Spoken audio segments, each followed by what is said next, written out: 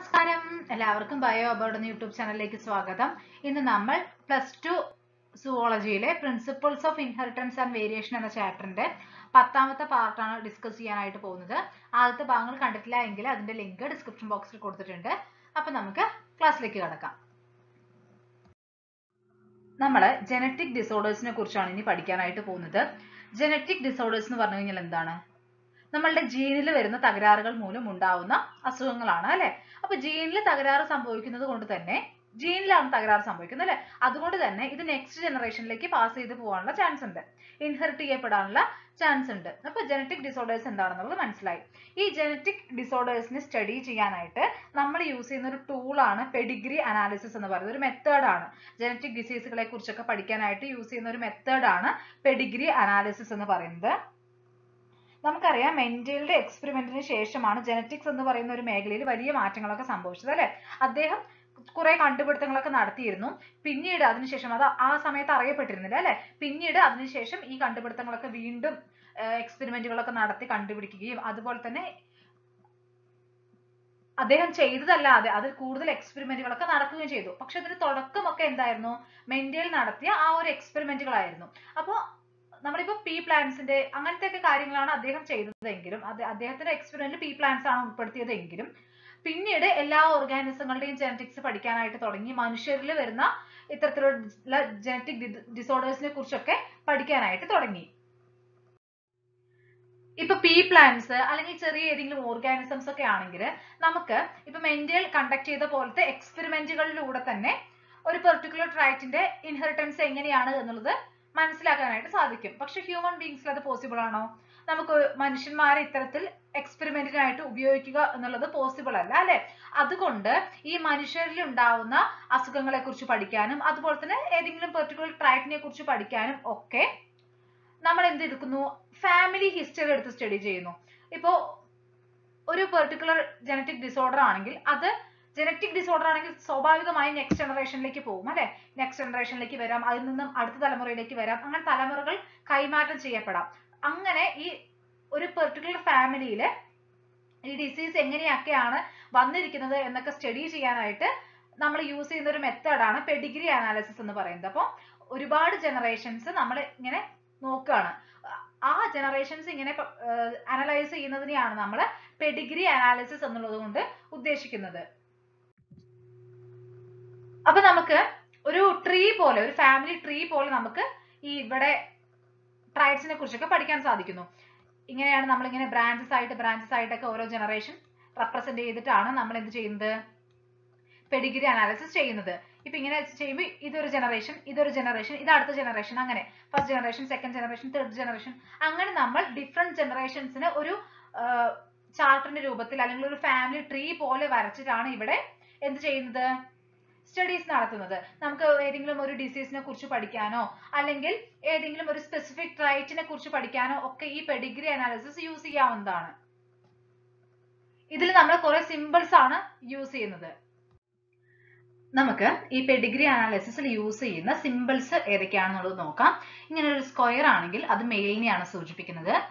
ഇത് ഫീമെയിലിനെയാണ് സൂചിപ്പിക്കുന്നത്. സർക്കിൾ ആണ് ഫീമെയിലിന് വേണ്ടിയിട്ട് യൂസ് ചെയ്യുന്നത്. ഇനി ഇത്തരത്തിലൊരു ഡയമണ്ട് ഷേപ്പ് ആണെങ്കിൽ അൺസ്പെസിഫൈഡ് സെക്സ് ആണ്. അതായത് നമുക്ക് മെയിൽ ആണോ ഫീമെയിൽ ആണോ എന്ന് അറിയാത്ത കേസിൽ നമ്മൾ ഇത്തരത്തിലൊരു ഡയമണ്ട് ആണ് സിമ്പിൾ ആയിട്ട് യൂസ് ചെയ്യുക. ഇവിടെ ഈ റെഡ് കളറിൽ കൊടുത്തിരിക്കുന്നുണ്ടോ റെഡ് കളറിൽ സ്ക്വയർ ആണെങ്കിൽ അഫക്റ്റഡ് മെയിൽ എന്നർത്ഥം. റെഡ് കളറിൽ സർക്കിൾ ആണെങ്കിൽ അഫക്റ്റഡ് ഫീമെയിൽ എന്നാണ് അർത്ഥം. ദെൻ ഇതാകുമ്പോൾ അഫക്റ്റഡ് ആണ് അൺസ്പെസിഫൈഡ് സെക്സ് ആണ് എന്നാണ് അർത്ഥം. അപ്പോൾ ചുവപ്പ് നിറത്തിൽ കൊടുത്തിട്ടുണ്ടെങ്കിൽ അഫക്റ്റഡ് എന്ന് സൂചിപ്പിക്കാൻ വേണ്ടിയാണ് നമ്മൾ ആ ഒരു റെഡ് കളർ യൂസ് ചെയ്യുന്നത്. ഇത് മേറ്റിംഗ് ആണ്. അതായത് ഇവർ തമ്മിൽ മേറ്റിംഗ് നടക്കുന്നു. മാരേജിനെയൊക്കെ നമുക്ക് ഇത്തരത്തിൽ സൂചിപ്പിക്കാവുന്നതാണ്. ഒരു ലൈൻ ഇട്ടിട്ട് കേട്ടോ അപ്പോൾ ഒരു മെയിലും ഫീമെയിലും തമ്മിൽ ലൈൻ ഇട്ടിട്ട് പരസ്പരം കണക്ട് ചെയ്തിട്ടുണ്ടെങ്കിൽ മേറ്റിംഗ് അല്ലെങ്കിൽ മാരേജ് ആണത് ഉദ്ദേശിക്കുന്നത്. ഇനി ഇവിടെ രണ്ട് വര കാണുന്നുണ്ടോ. രണ്ട് വര വരുമ്പോൾ റിലേറ്റീവ്സ് തമ്മിലുള്ള മാരേജ് അല്ലെങ്കിൽ മേറ്റിങ്ങിനെയാണ് അത് ഉദ്ദേശിക്കുന്നത്. കോൺസൻഗ്യൂനിയസ് മേറ്റിംഗ് മേറ്റിംഗ് എന്നാണ് നമ്മൾ അതിനെ പറയുന്നത്. കോൺസൻഗ്യൂനിയസ് മേറ്റിംഗ് എന്നാണ് നമ്മൾ അതിനെ പറയുന്നത് അപ്പോൾ റിലേറ്റീവ്സ് തമ്മിലാണ് മാരേജ് നടന്നിട്ടുള്ളത് എങ്കിൽ രണ്ട് ലൈൻ ഇട്ടിട്ട് വേണം സൂചിപ്പിക്കാനായിട്ട്. പിന്നെ ഇങ്ങനെ നമ്മൾ ഈ ലൈനിൽ നിന്നും താഴത്തേക്ക് വരയ്ക്കുന്നുണ്ടെങ്കിൽ അത് കുട്ടികളെ സൂചിപ്പിക്കാനാണ്. ഈ കാണുന്നത് കുട്ടികളും ഇത് പാരന്റ്സും അങ്ങനെയാണ് ഉദ്ദേശിക്കുന്നത്. ഫാദർ മദർ ഇത് ഒരു പെൺകുട്ടി ഒരു ആൺകുട്ടി അങ്ങനെ സൂചിപ്പിക്കാനാണ് നമ്മൾ ഇങ്ങനെ ഒരു ബ്രാഞ്ച് ചെയ്തിട്ട് വരയ്ക്കുന്നത്. ഇനി ഇവിടെ നോക്കുകയാണെങ്കിൽ ഇതെന്താണ്? മേറ്റിംഗ് ആണ്. ഇവിടെ ബ്രാഞ്ച് എടുത്ത് താഴത്തേക്ക് ആയതുകൊണ്ട് ഒരു മെയിൽ ചൈൽഡ് അവിടെ ഉണ്ട് എന്നാണ് ഉദ്ദേശിക്കുന്നത് അല്ലെ? പക്ഷെ ആ മെയിൽ ചൈൽഡ് എന്താണ്? അഫക്റ്റഡ് ആണ്. അതുകൊണ്ടാണ് ചുവപ്പ് നിറത്തിൽ കാണിച്ചിരിക്കുന്നത്. പിന്നെ ഇവിടെ അൺഅഫക്റ്റഡ് ഓഫ് സ്പ്രിംഗ് ആണ് അഞ്ചെണ്ണം. അഞ്ചു പേര് അൺഅഫക്റ്റഡ് ആണ് എന്ന് സൂചിപ്പിക്കാനാണ് നമ്മൾ ഈ ഡയമണ്ട് ഷേപ്പിനകത്ത് അഞ്ച് കൊടുത്തിരിക്കുന്നത്. അതായത് ഇതിപ്പോ സ്പെസിഫിക് ആയിട്ട് മെയിൽ ഓർ ഫീമെയിൽ എന്നൊന്നും പറയുന്നില്ല. അഞ്ച് ഓഫ് സ്പ്രിംഗ് അൺഅഫക്റ്റഡ് ആണ് എന്ന് പറയാനായിട്ടാണ് ഇത് സൂചിപ്പിക്കുന്നത്. അപ്പൊ നിങ്ങൾ ഇതെല്ലാം ഓർത്തു വെക്കണം. നമ്മൾ ജനറ്റിക് ഡിസീസുകളെ കുറിച്ചൊക്കെ പഠിക്കുന്ന സമയത്ത് ഇത് ആവശ്യമായിട്ടുണ്ട്. നമുക്കറിയാം ഒരു ഓർഗാനിസത്തിലെ ഓരോ ഫീച്ചറും കൺട്രോൾ ചെയ്യുന്നത് ആരാണ്? ജീനുകളാണ് അല്ലെ? ഈ ജീനുകൾ എവിടെയാണ് കാണപ്പെടുന്നത്? ഡി എൻ എയിലാണ് കാണപ്പെടുന്നത്. ഈ ഡി എൻ എ എവിടെയാണ് കാണപ്പെടുന്നത്? ക്രോമസോമിലാണ് കാണപ്പെടുന്നത്. അപ്പൊ ഒരു ക്രോമസോം എന്ന് പറഞ്ഞു കഴിഞ്ഞാൽ അവിടെ ഡി എൻ എ ആണ് കാണപ്പെടുന്നത്. ഈ ഡി എൻ എയിലാണ് എന്തുള്ളത്? ജീന് ലൊക്കേറ്റ് ചെയ്തിരിക്കുന്നത്. ഈ ജീൻസ് ആണ് ഓരോ ക്യാരക്ടറിനെയും നമ്മളുടെ ശരീരത്തിലെ ഓരോ ക്യാരക്ടറിനെയും കൺട്രോൾ ചെയ്യുന്നത്. ഈ ഡി എൻ എ ആണ് ജനറ്റിക് ഇൻഫർമേഷൻ ക്യാരി ചെയ്യുന്നത് അല്ലെ? ജനറ്റിക് ഇൻഫർമേഷൻ ഡി എൻ എയിലാണ് ഉള്ളത്. So D N A is the carrier of genetic information അപ്പോൾ ഈ ഒരു ഡി എൻ എ ഒരു ജനറേഷനിൽ നിന്നും അടുത്ത ജനറേഷനിലേക്ക് ഒരു മാറ്റവും ഇല്ലാതെ ട്രാൻസ്മിറ്റ് ചെയ്ത് പോകുന്നുണ്ട്. നോർമലി ഒരു ചേഞ്ചും ഇല്ലാതെയാണ് ഈ ഡി എൻ എ ഒരു ജനറേഷനിൽ നിന്ന് അടുത്ത ജനറേഷനിലേക്ക് പാസ് ചെയ്ത് പോകുന്നത്. പക്ഷേ ചില സമയങ്ങളിൽ എന്തുണ്ടാവാനുള്ള സാധ്യതയുണ്ട്? ചേഞ്ചസ് ഓർ ഓൾട്ടറേഷൻസ് ഉണ്ടാവാനുള്ള സാധ്യതയുണ്ട്. ഈ ചേഞ്ചസിനെ അല്ലെങ്കിൽ ഓൾട്ടറേഷൻസിനെയാണ് നമ്മൾ എന്ത് വിളിക്കുന്നത്? മ്യൂട്ടേഷൻ എന്ന് വിളിക്കുന്നത്. നമ്മളുടെ ജനറ്റിക് മെറ്റീരിയലിൽ ഉണ്ടാകുന്ന ഒരു ചേഞ്ചിനെയാണ് നമ്മൾ മ്യൂട്ടേഷൻ എന്നുള്ളത് കൊണ്ട് ഉദ്ദേശിക്കുന്നത്. നമ്മൾ കഴിഞ്ഞ ക്ലാസ്സിൽ മ്യൂട്ടേഷനെ കുറിച്ച് പഠിച്ചിരുന്നു അല്ലെ? അപ്പൊ ഈ ജനറ്റിക് മെറ്റീരിയലിലാണ് ചേഞ്ച് ഉണ്ടാകുന്നത് സോ അവിടെ അത് നെക്സ്റ്റ് ജനറേഷനിലേക്ക് പാസ് ചെയ്ത് പോകാനുള്ള ചാൻസ് ഉണ്ട് അല്ലെ? ഇൻഹെറിറ്റ് ചെയ്യപ്പെടാനുള്ള ചാൻസ് ഉണ്ട്. ഹ്യൂമൻ ബീങ്സിൽ ഉണ്ടാവുന്ന ജനറ്റിക് ഡിസോർഡേഴ്സിനൊക്കെയുള്ള മെയിൻ കാരണം എന്താണ്? ഈ മ്യൂട്ടേഷൻ സംഭവിച്ചിട്ടുള്ള ജീൻസ് നെക്സ്റ്റ് ജനറേഷനിലേക്ക് പോകുന്നത് കൊണ്ടാണ്. അപ്പോൾ ഈ മ്യൂട്ടേഷൻ സംഭവിക്കുമ്പോൾ അത്രയും കാലം എക്സ്പ്രസ് ചെയ്യപ്പെട്ടിട്ടില്ലാത്ത ഒരു ക്യാരക്ടർ അവിടെ എക്സ്പ്രസ് ചെയ്യപ്പെടും. അത് നമ്മളുടെ ബോഡി നെഗറ്റീവായി അഫക്ട് ചെയ്യുന്നതായിരിക്കാം. അങ്ങനെയാണ് ഈ ജനറ്റിക് ഡിസോർഡേഴ്സ് ഒക്കെ ഉണ്ടാവുന്നത്. അപ്പോൾ ഇത്തരത്തിൽ ചേഞ്ച്ഡ് ഓർ ഓൾട്ടേർഡ് ജീൻസ് കാരണമോ അല്ലെങ്കിൽ ക്രോമസോമുകളിൽ എന്തെങ്കിലും ചേഞ്ചസ് ഉണ്ടാവുന്നതോ കാരണമോ ഒക്കെയാണ് ജനറ്റിക് ഡിസോർഡേഴ്സ് ഉണ്ടാവുന്നത്. നമുക്ക് ജനറ്റിക് ഡിസോർഡേഴ്സിനെ മെന്റേലിയൻ ഡിസോർഡേഴ്സ് എന്നും ക്രോമസോമൽ ഡിസോർഡേഴ്സ് എന്നും രണ്ടായി ക്ലാസിഫൈ ചെയ്യാം. ഇതിലെ മെന്റേലിയൻ ഡിസോർഡേഴ്സ് എന്ന് പറയുമ്പോൾ നമ്മൾ മെന്റേലിന്റെ എക്സ്പെരിമെന്റുകൾ പഠിച്ചില്ലേ? പി പ്ലാന്റ്സിലൊക്കെ അപ്പൊ അതിൽ ഒരു ക്യാരക്ടർ എങ്ങനെയാണ് അടുത്ത ജനറേഷനിലേക്ക് പോകുന്നത് എന്നും എക്സ്പ്രസ് ചെയ്യപ്പെടുന്നത് എന്നും ഒക്കെ നമ്മൾ പഠിച്ചു അല്ലെ? അതുപോലെ ഒരു ജനറേഷനിൽ നിന്നും അടുത്ത ജനറേഷനിലേക്ക് ഇൻഹെറിറ്റ് ചെയ്ത് പോകുന്ന അതായത് മെന്റേലിയൻ പ്രിൻസിപ്പിൾസ് ഒക്കെ ഒബേ ചെയ്യുന്ന തരത്തിലുള്ള ഇൻഹെറിറ്റൻസ് ഇല്ലേ? അത്തരത്തിലുള്ള ഇൻഹെറിറ്റൻസ് കാണിക്കുന്ന ഡിസോർഡേഴ്സ് ആണ് മെന്റേലിയൻ ഡിസോർഡേഴ്സ് എന്ന് പറയുന്നത്. ഇത് സിംഗിൾ ജീനിൽ ഉണ്ടാവുന്ന മ്യൂട്ടേഷൻ കാരണം അല്ലെങ്കിൽ ഓൾട്ടറേഷൻ കാരണം ഉണ്ടാവുന്ന ഡിസോർഡേഴ്സ് ആണ്. അപ്പോ നമ്മൾ ഈ മെന്റലിന്റെ എക്സ്പെരിമെന്റുകളിൽ പറഞ്ഞിട്ടുള്ളത് പോലെ തന്നെ ആ ഒരു സെയിം ലൈനിൽ ഇൻഹെറിറ്റ് ചെയ്യപ്പെടുന്ന ഡിസോർഡേഴ്സ് ആണ് മെന്റേലിയൻ ഡിസോർഡേഴ്സിൽ വരുന്നത്. നമുക്ക് ഈ മെന്റേലിയൻ ഡിസോർഡേഴ്സിനെ കുറിച്ച് പെഡിഗ്രി അനാലിസിസിലൂടെ സ്റ്റഡി ചെയ്യാൻ സാധിക്കുന്നതാണ്. മോസ്റ്റ് കോമൺ മെന്റേലിയൻ ഡിസോർഡേഴ്സ് ഏതൊക്കെയാ നോക്കൂ? Haemophilia cystic fibrosis sickle cell anaemia colour blindness phenylketonuria thalassaemia ഇതൊക്കെയാണ് കോമൺ ആയിട്ടുള്ള മെന്റേലിയൻ ഡിസോർഡേഴ്സ് അതായത് മെന്റേലിന്റെ ആ ഒരു പ്രിൻസിപ്പിൾ ഓഫ് ഇൻഹെറിറ്റൻസ് ഫോളോ ചെയ്യുന്ന തരത്തിലുള്ള ഡിസോർഡേഴ്സ് ആണ്. അതുപോലെ തന്നെ ഈ മെന്റേലിയൻ ഡിസോർഡേഴ്സിന്റെ ഒരു പ്രത്യേകത എന്ന് പറയുന്നത് അവ ഒന്നില്ലെങ്കിൽ ഡൊമിനന്റ് ആവാം അല്ലെങ്കിൽ റിസസീവ് ആവാം. നമ്മൾ ഇപ്പൊ ഈ പ്ലാന്റ്സിലൊക്കെ എക്സ്പെരിമെന്റ് കണ്ടക്ട് ചെയ്തപ്പോൾ ഓരോ ട്രൈബ്സിനെ കുറിച്ച് പറയുമ്പോഴും പറഞ്ഞില്ലേ ഇപ്പൊ ഒരു ഹൈറ്റ് എന്നുള്ള ഒരു ക്യാരക്ടർ എടുക്കുകയാണെങ്കിൽ ക്യാപിറ്റൽ ടി ക്യാപിറ്റൽ ടി അല്ലെങ്കിൽ ക്യാപിറ്റൽ ടി സ്മോൾ ടി വരികയാണെങ്കിൽ ടോൾ ആണ്. അത് ഡൊമിനന്റ് ആണ് അല്ലെ? ടോൾ എന്ന് പറയുന്നത് ഡൊമിനന്റ് ആണ്. ഡോർഫ് എന്ന് പറയുന്നത് റിസസീവ് ആണ്. അതുപോലെ തന്നെയാണ് ഇവിടുത്തെ ഡിസോർഡേഴ്സ് എന്ന് പറയുന്നത്. ചിലത് ഡൊമിനന്റ് ആയിരിക്കും ചിലത് റിസസീവ് ആയിരിക്കും ഇപ്പോൾ ഒരു എക്സാമ്പിൾ പറയുകയാണെങ്കിൽ ഡൊമിനന്റിന്റെ എക്സാമ്പിൾ പറയുകയാണെങ്കിൽ നമുക്ക് ഡി എന്ന അലിയിൽ ഡി എന്ന ലെറ്റർ ഉണ്ട്. അലിയിൽ സൂചിപ്പിക്കാം. ഡൊമിനന്റ് ആണെന്ന് വിചാരിക്കുക. അപ്പൊ capital T capital sorry capital D capital D അല്ലെങ്കിൽ ക്യാപിറ്റൽ ഡി സ്മോൾ ഡി ഇങ്ങനെ വരുമ്പോഴാണ് എന്തുണ്ടാവുക? ഡിസീസ് ഉണ്ടാവുന്നത്. ഞാൻ ഡിസീസിനെ സൂചിപ്പിക്കാനായിട്ടാണ് ഡി എടുത്തത് കേട്ടോ. ഡിസീസ് ഉണ്ടാവുന്നത്. ഇനി ഈ ഒരു ഡിസീസ് റിസസീവ് ആണ് എന്ന് വിചാരിക്കുക. അങ്ങനെ ഒരു കേസിലാണെങ്കിൽ എന്താണ് സംഭവിക്കുന്നത്? അവിടെ ഡിസീസ് ഉണ്ടാവണമെങ്കിൽ എന്തായിരിക്കണം? സ്മോൾ ഡി സ്മോൾ ഡി എന്ന കണ്ടീഷൻ വരുമ്പോൾ മാത്രമായിരിക്കും എന്തുണ്ടാവുക? ഡിസീസ് ഉണ്ടാവുന്നത്. അപ്പോൾ ഈ ഡിസീസസ് എന്ന് പറയുന്നത് മേ ബി ഡൊമിനന്റ് ആവാം അല്ലെങ്കിൽ എന്താവാം? റിസസീവ് ആവാം. നമുക്ക് ഈ ഒരു ഡിസീസ് ഡൊമിനന്റ് ആണോ റിസസീവ് ആണോ എന്നുള്ളത് പെഡിഗ്രി അനാലിസിസിലൂടെ മനസ്സിലാക്കാൻ കഴിയുന്നതാണ്. അതുപോലെ തന്നെ ഈ ഡിസോർഡേഴ്സിനൊക്കെ കാരണമായിട്ടുള്ള ജീന് ചിലപ്പോൾ സെക്സ് ലിങ്ക്ഡ് ആയിരിക്കാം. അതായത് സെക്സ് ക്രോമസോമോ ആയിട്ട് ലിങ്ക് ചെയ്തിട്ടായിരിക്കും കാണപ്പെടുന്നത്. അതിനൊരു എക്സാമ്പിൾ ആണ് ഹീമോഫീലിയ എന്ന് പറയുന്നത്. ഇപ്പോ നമ്മളൊരു എക്സാമ്പിൾ പറയുകയാണെങ്കിൽ എക്സ് ക്രോമസോമിലാണ് ആ ഒരു പെർട്ടിക്കുലർ ഡിസീസിനുള്ള ജീൻ കാണപ്പെടുന്നതെന്ന് വിചാരിക്കുക. എക്സ് ക്രോമസോമിലാണ് അത് റിസസീവ് ആണെന്ന് വിചാരിക്കുക. ഇപ്പൊ ഫീമെയിൽസിലാണെങ്കിൽ രണ്ട് എക്സ് ഉണ്ട് അല്ലെ? അപ്പോ ആ നമുക്ക് ഡി എന്നുള്ളത് കൊണ്ട് ഈ ഒരു ഡിസീസിനെ സൂചിപ്പിക്കാം. രണ്ടിലും റിസസീവ് ആയിട്ടുള്ള സ്മോൾ ഡി സ്മോൾ ഡി വരികയാണെങ്കിൽ ആ ഫീമെയിലിന് എന്താണ്? ആ ഒരു പെർട്ടിക്കുലർ ഡിസീസ് ഉണ്ട് അല്ലെ? പെർട്ടിക്കുലർ ഡിസീസ് ഈ ഫീമെയിലിന് ഉണ്ട്. ഇനി ഈ ഫീമെയിലിൽ നിന്നും മെയിലിലേക്ക് ഈ ഡിസീസ് പോകാനുള്ള സാധ്യതയുണ്ട്. കാരണം ഈ ഒരു എക്സ് പോവുമല്ലോ മെയിലിലേക്ക് അപ്പൊ ഈ ഒരു എക്സിൽ നിന്നും സ്മോൾ ഡി കിട്ടുന്നു. എന്നാൽ അത് വൈയിൽ നിന്ന് വരാൻ സാധ്യതയില്ല. കാരണം അത് എക്സ് ലിങ്ക്ഡ് ആണല്ലോ. എക്സ് ക്രോമസോമിൽ മാത്രമാണ് ആ ഒരു പെർട്ടിക്കുലർ ജീൻ കാണപ്പെടുന്നത്. സോ ഈ മെയിലിൽ ഒരു ഡി മാത്രമേ എപ്പോഴും വരുള്ളൂ അല്ലെ? കാരണം അവർക്ക് ഒരു എക്സ് അല്ലേ ഉള്ളൂ. അപ്പൊ ഈ ഡി വന്നു കഴിഞ്ഞാലും ഈ മെയിലിന് ഒരിക്കലും ഡിസീസ് ഉണ്ടാവില്ല. കാരണം സ്മോൾ ഡി മാത്രമല്ലേ. സോ ഡിസീസ് ഈ മെയിലിന് ഉണ്ടാവുകയില്ല. ഓക്കെ അപ്പൊ ഈ ഫീമെയിലിൽ നിന്നും മെയിൽ പ്രോജനിയിലേക്ക് ഇത് ട്രാൻസ്മിറ്റ് ചെയ്ത് പോകാനുള്ള സാധ്യത കാണുന്നുണ്ട്. പക്ഷേ അവിടെ എക്സ്പ്രസ് ചെയ്യപ്പെടണമെന്നില്ല. റിസസീവ് ആണല്ലോ. ഇവിടെ ഒരു റിസസീവ് ട്രൈറ്റും അതുപോലെ തന്നെ ഡൊമിനന്റ് ട്രൈറ്റും പെഡിഗ്രി അനാലിസിസിൽ റെപ്രസെന്റ് ചെയ്തിരിക്കുകയാണ്. അതായത് ഡൊമിനന്റ് ട്രൈറ്റ് എന്ന് പറയുമ്പോൾ മയോട്ടോണിക് ഡിസ്ട്രോപ്പിയും ഇത് റിസസീവ് എന്നുള്ളത് സിക്കിൾ സെൽ അനീമിയ ആണെന്ന് വിചാരിക്കുക. അപ്പൊ രണ്ട് രോഗങ്ങളെ കുറിച്ചാണ് ഇവിടെ കൊടുത്തിരിക്കുന്നത്. അപ്പൊ നിങ്ങൾക്ക് ഓരോന്ന് ഞാൻ ഡീറ്റെയിൽ ആയിട്ട് പറഞ്ഞുതരാം. അപ്പൊ ഇതെന്താണ്? ഡൊമിനന്റ് ആണ് കേട്ടോ ഡൊമിനന്റ് ആണ് ഫസ്റ്റ് പറയാൻ പോകുന്നത്. മസ്ക് മയോട്ടോണിക് ഡിസ്ട്രോപ്പി ആണല്ലോ. അതുകൊണ്ട് തന്നെ നമുക്ക് എം എന്നുള്ള ഇത് എടുക്കാം. ഡൊമിനന്റ് ആണ് എം ആണ്. ഓക്കെ അപ്പൊ ഇവിടെ നോക്കൂ. ഇത് അഫക്റ്റഡ് ഫീമെയിൽ ആണ്.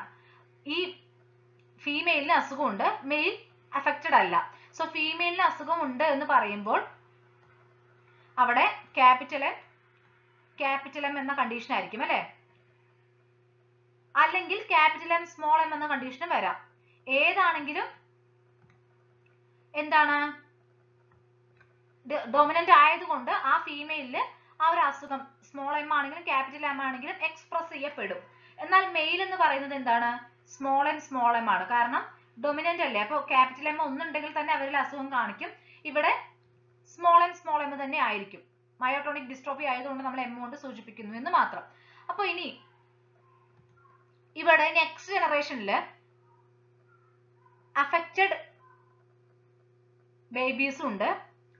അൺഅഫക്റ്റഡ് ബേബീസും ഉണ്ട്. ഓക്കെ അപ്പോ അതുകൊണ്ട് തന്നെ ഇവിടെ ക്യാപിറ്റൽ എം സ്മോൾ എം ആവാനാണ് സാധ്യത. കാരണം ക്യാപിറ്റൽ എം ക്യാപിറ്റൽ എം ആണെങ്കിൽ എന്തായാലും ഒരു ക്യാപിറ്റൽ എം നെക്സ്റ്റ് ജനറേഷനിലേക്ക് പാസ് ചെയ്ത് പോകും അല്ലെ അപ്പൊ ഒരു ക്യാപിറ്റൽ എം വന്നു കഴിഞ്ഞാൽ മതി. ഈ ഉണ്ടാവുന്ന കുട്ടികൾക്കൊക്കെ ആ ഒരു ഡിസീസ് ഉണ്ടാവും. So capital M capital M അല്ല ഈ അമ്മയുടെ condition capital M small M ആണ്. അപ്പൊ നമുക്ക് എന്ത് ഒഴിവാക്കാം? ക്യാപിറ്റൽ എം ക്യാപിറ്റൽ എം ഒഴിവാക്കി ക്യാപിറ്റൽ എം സ്മോൾ എം മാത്രം യൂസ് ചെയ്യാം. അതെന്തുകൊണ്ടാണെന്ന് മനസ്സിലായില്ലേ? കാരണം ഇപ്പൊ ഈ അമ്മയിൽ ക്യാപിറ്റൽ എം ക്യാപിറ്റൽ എം തന്നെയാണെന്ന് വിചാരിക്കുക. ക്യാപിറ്റൽ എം ക്യാപിറ്റൽ എമ്മും അച്ഛനിൽ സ്മോൾ എം സ്മോൾ എമ്മും ആണെങ്കിൽ ഉണ്ടാവുന്ന കുഞ്ഞുങ്ങളുടെ ഒക്കെ കണ്ടീഷൻ എന്തായിരിക്കും? ക്യാപിറ്റൽ എം സ്മോൾ എം എന്നുള്ള കണ്ടീഷൻ ആയിരിക്കും. അങ്ങനെ ക്യാപിറ്റൽ എം സ്മോൾ എം എന്നുള്ള കണ്ടീഷൻ ആണ് ഈ കുഞ്ഞുങ്ങൾക്ക് ഉണ്ടാവുന്നത് എങ്കിൽ ഇവർക്ക് എല്ലാവർക്കും എന്ത് വരാനുള്ള സാധ്യതയുണ്ട്? ഡിസീസ് വരാനുള്ള സാധ്യതയുണ്ട്. എന്നാൽ ഇവിടെ ഒന്ന് രണ്ട് രണ്ട് കുട്ടികൾക്ക് അസുഖമുണ്ട് രണ്ട് പേർക്ക് അസുഖമില്ല. കണ്ടോ? ആകെ നാല് കുട്ടികളാണ് അവിടെ വരുന്നത്. രണ്ട് ഫീമെയിലും രണ്ട് മെയിലും വരുന്നുണ്ട്. അതിൽ ഒരു മെയിലും ഒരു ഫീമെയിലും അഫക്റ്റഡ് ആണ്. ഒരു മെയിലും ഒരു ഫീമെയിലും അൺഅഫക്റ്റഡ് ആണ്. ഇത് ഇവരുടെ കുട്ടിയല്ല. കണ്ടില്ല? ഇത് കണക്ഷൻ ഇല്ല. സോ ഇത് ഇവരുടെ കുട്ടിയല്ല. ഇയാൾ മാരേജ് ചെയ്ത ആളാണ് ഇത്. അതുകൊണ്ട് തന്നെ ഇത് ആ കുട്ടിയല്ല. ഇവരിൽ ഇവരുടെ ഓഫ്സ്പ്രിങ് അല്ല. ഓക്കെ അപ്പൊ ഇവിടെ നമ്മൾ പറഞ്ഞു ക്യാപിറ്റൽ ആൻഡ് സ്മോൾ എം ആയിരിക്കും മദറിന് വരുന്നത് എന്ന് പറഞ്ഞു. അപ്പൊ പോസിബിലിറ്റി എന്തൊക്കെയുണ്ട്? ക്യാപിറ്റൽ ആൻഡ് സ്മോൾ എം വരുന്നത് കൊണ്ട് തന്നെ ഇവിടെ ഈ മദറിൽ നിന്നും ഉണ്ടാവുന്ന ഗാമേറ്റുകൾ ഒന്നില്ലെങ്കിൽ ക്യാപിറ്റൽ എം ഉള്ളതാവാം. അല്ലെങ്കിൽ സ്മോൾ എം ഉള്ളതാവാം അല്ലെ? അതുപോലെ തന്നെ ഇവിടെ ഉണ്ടാവുന്നതിൽ എന്തായാലും സ്മോൾ എം ആയിരിക്കും. അങ്ങനെ ഒരു കണ്ടീഷനേ ഉള്ളൂ. ഇവിടെ ഉണ്ടാവുന്ന സ്പേമുകളിൽ മൊത്തം സ്മോൾ എം ആയിരിക്കും. അപ്പോ ഈ ക്യാപിറ്റൽ എമ്മും സ്മോൾ എമ്മും ചേരാനുള്ള സാധ്യതയുണ്ട് അല്ലെ? ക്യാപിറ്റൽ എം സ്മോൾ എം എന്നുള്ള കണ്ടീഷൻ ഉണ്ടാവാം. അതുപോലെ തന്നെ സ്മോൾ എം സ്മോൾ എം ചേരാനുള്ള സാധ്യതയുണ്ട്. അപ്പൊ അവിടെ സ്മോൾ എം സ്മോൾ എം എന്നുള്ള കണ്ടീഷൻ ഉണ്ടാവാം. അപ്പൊ ക്യാപിറ്റൽ എം സ്മോൾ എം ആണ് വരുന്നത് എങ്കിൽ ഡെഫിനറ്റ്ലി അഫക്റ്റഡ് ഇൻഡിവിജ്വൽസ് ആയിരിക്കും. കാരണം ഡൊമിനന്റ് ആയിട്ട് ട്രൈറ്റ് ആണല്ലോ ഈ അസുഖം. എന്നാൽ സ്മോൾ എം സ്മോൾ എം വന്നു കഴിഞ്ഞാൽ അൺഅഫക്റ്റഡ് ആണ്.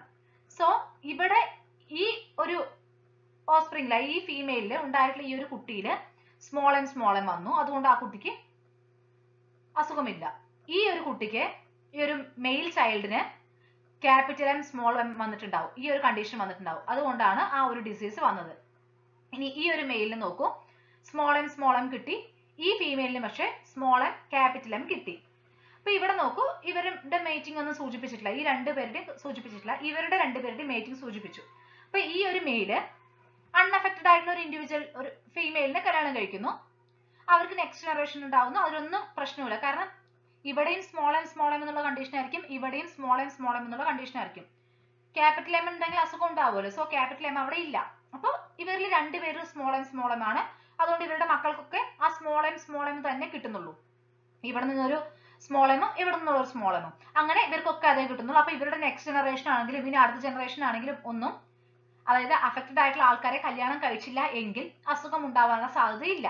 ഓക്കെ ഇനി ഈ ഫീമെയിൽ അഫക്റ്റഡ് ആണ് അവർ കല്യാണം കഴിക്കുന്നു. അതൊരു അൺഅഫക്റ്റഡ് മെയിലിനെയാണ് കല്യാണം കഴിക്കുന്നത്. നമുക്ക് ഇനി ഈ ഒരു കാര്യം പറയാം. ഓക്കെ ഇതുവരെയുള്ളത് നിങ്ങൾക്ക് മനസ്സിലായിട്ടുണ്ടെന്ന് വിചാരിക്കുന്നു. അപ്പോ ഇവിടെ ഫീമെയിൽ അഫക്റ്റഡ് ആണ്. എന്തായാലും ക്യാപിറ്റൽ എം സ്മോൾ എം തന്നെയാണ് അവിടെയും കണ്ടീഷൻ വരുന്നത്. കാരണം അമ്മയിൽ നിന്നുള്ള ക്യാപിറ്റൽ എമ്മും അച്ഛനിൽ നിന്നുള്ള സ്മോൾ എമ്മും ആയിരിക്കുമല്ലോ.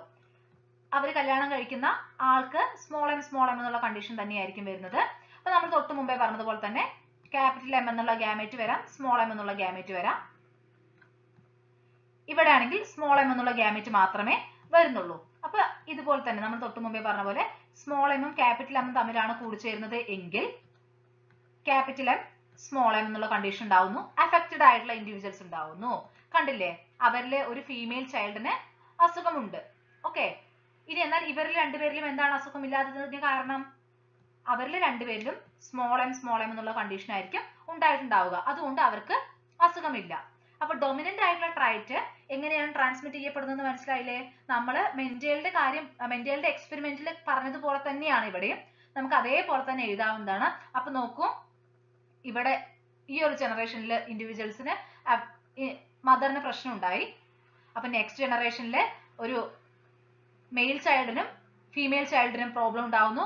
നെക്സ്റ്റ് അവരുടെ നെക്സ്റ്റ് ജനറേഷനിലും പ്രോബ്ലം ഉണ്ടാവുന്നു. ഇനി ഈ ഒരു ഇൻഡിവിജ്വൽ അഫക്റ്റഡ് ആയിട്ടുള്ള ഒരാളെ കല്യാണം കഴിച്ചാലും അല്ലെങ്കിൽ നോൺ അഫക്റ്റഡ് ആയിട്ടുള്ള ഒരാളെ കല്യാണം കഴിച്ചാലും നെക്സ്റ്റ് ജനറേഷനിലേക്ക് ഈ ഒരു അസുഖം പാസ് ചെയ്തു പോകാനുള്ള സാധ്യതയുണ്ട്. കാരണം ഇവിടെ ക്യാപിറ്റൽ എം ഉണ്ട്.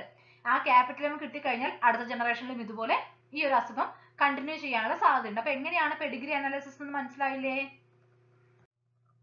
ഇനി നമുക്ക് റിസസീവ് ആയിട്ട് വരുന്ന കേസ് നോക്കാം. അപ്പോ നമ്മൾ സിക്കിൾ സെൽ അനീമിയാണ് എക്സാമ്പിൾ ആയിട്ട് പറയുന്നത്. നമ്മളിപ്പോൾ ഈ പറയുന്ന ഡിസീസ് ആണെങ്കിലും തൊട്ട് മുമ്പേ പറഞ്ഞതാണെങ്കിലും ഒക്കെ ഓട്ടോസോമൽ ഡിസോർഡേഴ്സ് ആണ് കേട്ടോ അതായത് ഓട്ടോസോമൽ ആണ് ഈ ജീൻസ് കാണപ്പെടുന്നത്. അപ്പൊ നമ്മൾ പറഞ്ഞു റിസസീവ് ആണെന്ന് പറഞ്ഞു. അതുകൊണ്ട് തന്നെ ക്യാപിറ്റലസ് ക്യാപിറ്റലസ് ആണ് വരുന്നത് എങ്കിൽ അവിടെ ഡിസീസ് ഉണ്ടാവുമോ? ഇല്ല റിസസീവ് അല്ലേ? ഇവിടെ രണ്ടും ഡോമിനന്റ് ആണ് സോ ഡിസീസ് ഉണ്ടാവുകയില്ല. അപ്പൊ നമ്മളിവിടെ എസ് കൊടുക്കുന്നത് സിക്കിൾ സെൽ അനീമിയ എന്നത് സൂചിപ്പിക്കാൻ വേണ്ടിയാണ് കേട്ടോ ഇനി ക്യാപിറ്റലസ് സ്മോളസ് ആണ് വരുന്നത് എന്ന് വിചാരിക്കുക. ക്യാപിറ്റലസ് സ്മോളസ് ആണ് വരുന്നത് എങ്കിലും അവിടെ എന്തില്ല? ഡിസീസ് ഇല്ല. കാരണം സ്മോളസും സ്മോളസും വന്നാൽ മാത്രമാണ് ഡിസീസ് വരികയുള്ളൂ. ഇവിടെ ക്യാപിറ്റലസ് ഉള്ളത് കൊണ്ട് തന്നെ. ക്യാപിറ്റലസിൽ എക്സ്പ്രസ് ചെയ്യപ്പെടുന്നത്. സോ ഡിസീസ് ഇല്ല. ഇനി സ്മോളസ് സ്മോളസ് ആണ് വരുന്നതെങ്കിലോ? സ്മോളസ് സ്മോളസ് ആണ് വരുന്നതെങ്കിൽ ആ ഒരു ഇൻഡിവിജ്വലിന് എന്തുണ്ടാവും? സിക്കിൾ സെൽ അനീമിയ എന്ന ഡിസീസ് ഉണ്ടാവും. അപ്പൊ സ്മോളസ്റ്റ് സ്മോളസ് എന്ന കണ്ടീഷനിലാണ് ഇവിടെ ഡിസീസ് വരുന്നത്. ഓക്കെ ഇനി നമുക്ക് ഈ പെഡിഗ്രി അനാലിസിസ് ഒന്ന് നോക്കാം.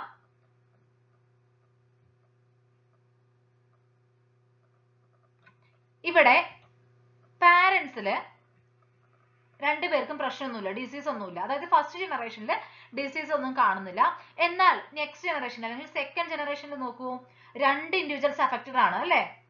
അപ്പോ ഈ ജനറേഷനിൽ എക്സ്പ്രസ് ചെയ്യാതെ അടുത്ത ജനറേഷനിൽ എക്സ്പ്രസ് ചെയ്യപ്പെടണമെങ്കിൽ ഈ പാരൻസിന്റെ കണ്ടീഷൻ എന്തായിരിക്കും?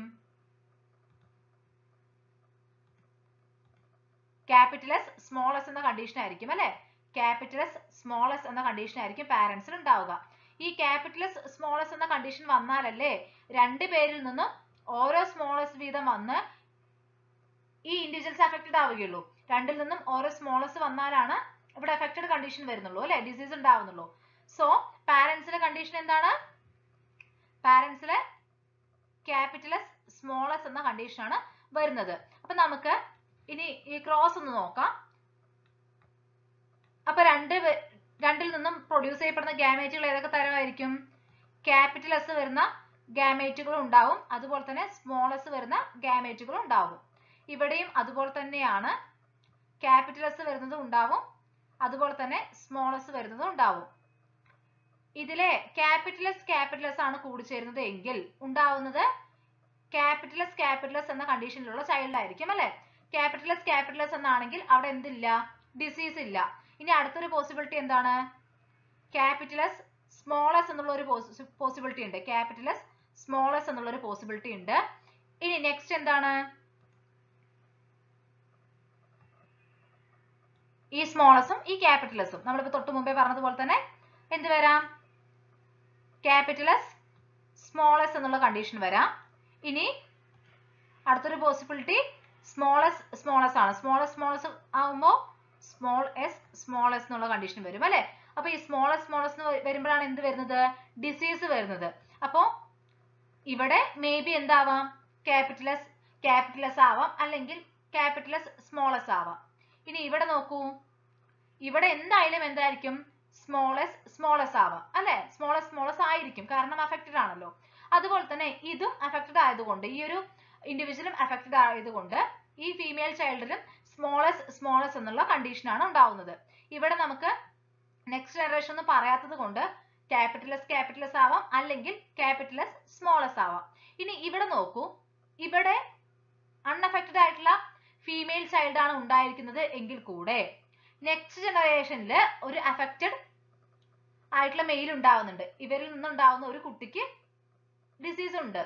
സോ ഇവരുടെ കണ്ടീഷൻ എന്തായാലും എന്തായിരിക്കും? നമ്മൾ ഇവിടെ പറഞ്ഞതുപോലെ തന്നെ ക്യാപിറ്റലസ് സ്മോളസ് ആയിരിക്കും. അതുപോലെ തന്നെ ഇവർ മാരേജ് ചെയ്തിട്ടുള്ള ഈ ഒരു മെയിലിലും ക്യാപിറ്റലസ് സ്മോളസ് എന്ന കണ്ടീഷൻ ആയിരിക്കും. എന്നാൽ മാത്രമാണ് ഈ കുട്ടിയിൽ സ്മോളസ് സ്മോളസ് എന്ന കണ്ടീഷൻ വരികയുള്ളൂ. ഓക്കെ അപ്പൊ ഇവർ ഇവരിൽ അസുഖം കാണുന്നില്ല. പക്ഷെ ആ അസുഖത്തിന് കാരണമായിട്ടുള്ള അലീൽ ഇവരിൽ കാണുന്നുണ്ട്. അല്ലെങ്കിൽ ആ ഒരു ജീൻ ഇവരിൽ കാണുന്നുണ്ട്. അതുകൊണ്ട് തന്നെ നെക്സ്റ്റ് ജനറേഷനിൽ അത് എക്സ്പ്രസ് ചെയ്യപ്പെടുന്നു. അല്ലെ? ഒരു കാരിയർ ആയിട്ടാണ് ഇവർ ആക്ട് ചെയ്യുന്നത്. ഈ പാരന്റ്സും ഇവരൊക്കെ ഒരു കാരിയർ ആയിട്ട് ആക്ട് ചെയ്യുന്നു. അപ്പൊ ഇവർ എന്ത് ചെയ്യുന്നു? നെക്സ്റ്റ് ജനറേഷനിലേക്ക് ആ ഒരു അസുഖത്തെ കൊടുക്കുന്നുണ്ട്. ഓക്കെ അപ്പൊ എങ്ങനെയാണ് പെഡിഗ്രി അനാലിസിസ് വഴി നമ്മൾ ഈ ജനറ്റിക് ഡിസോർഡേഴ്സിനെ കുറിച്ച് പഠിക്കുന്നതെന്ന് മനസ്സിലായില്ലേ? നമുക്കിനി ഓരോ ഡിസോർഡേഴ്സ് ആയിട്ട് അടുത്ത ക്ലാസ്സിൽ നോക്കാം. നിങ്ങൾക്ക് എല്ലാവർക്കും ഇന്നത്തെ ക്ലാസ് മനസ്സിലായി എന്ന് വിചാരിക്കുന്നു. എന്തെങ്കിലും സംശയങ്ങളോ അഭിപ്രായങ്ങളോ ഒക്കെ ഉണ്ടെങ്കിൽ കമന്റ് ചെയ്യണം. അതുപോലെ തന്നെ നിങ്ങൾക്ക് ഈ ഒരു വീഡിയോ ഇഷ്ടപ്പെടുകയാണെങ്കിൽ ലൈക്ക് ചെയ്യാനും നിങ്ങളുടെ കൂട്ടുകാർക്ക് എല്ലാവർക്കും ഷെയർ ചെയ്ത് കൊടുക്കാനും ബയോ അബോർഡ് എന്ന ചാനൽ സബ്സ്ക്രൈബ് ചെയ്യാനും മറക്കരുത്. താങ്ക്